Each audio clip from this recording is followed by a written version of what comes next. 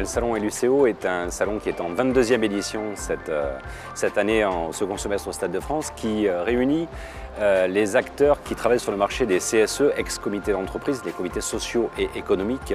donc, qui sont nos visiteurs et qui viennent sur ce salon rencontrer l'ensemble de leurs fournisseurs dans tous les secteurs d'activité. La particularité du salon LUCO est que les exposants sont installés dans les loges du Stade de France et peuvent travailler comme s'ils étaient dans un bureau et recevoir le public, prospect ou client dans des conditions de, rencontre qui sont optimales. Euh, chaque loge est dédiée à un exposant qui l'occupe avec un totem lumineux dans le couloir qui présente qui est l'occupant. Ainsi, le visiteur peut, l'œil précédant le pas, se rendre compte de ce qu'il attend dans les mètres suivants et décider de rentrer rencontrer un exposant dans la plus grande confidentialité le plus grand professionnalisme.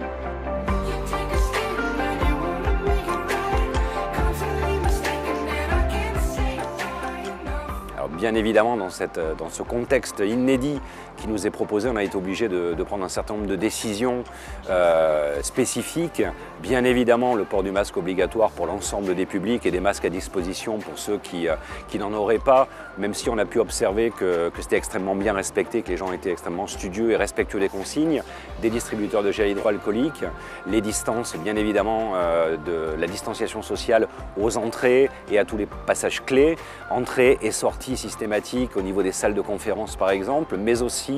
euh, un sens de visite du couloir des loges. Habituellement, les gens vont un petit peu au gré de leur, leur envie. Là, on a euh, organisé le flux de visite en l'inversant un jour et l'autre pour équilibrer la répartition des visiteurs dans le salon, mais le sens était unique. Et puis euh, le développement, et ça c'est important, d'un système de comptage qui nous a permis en temps réel, entrée moins sortie, de savoir exactement à tout moment du salon, de savoir combien de personnes étaient présentes sur le site et donc d'être certain qu'on respectait bien les, niveaux qui, étaient les, qui sont les niveaux autorisés, imposés.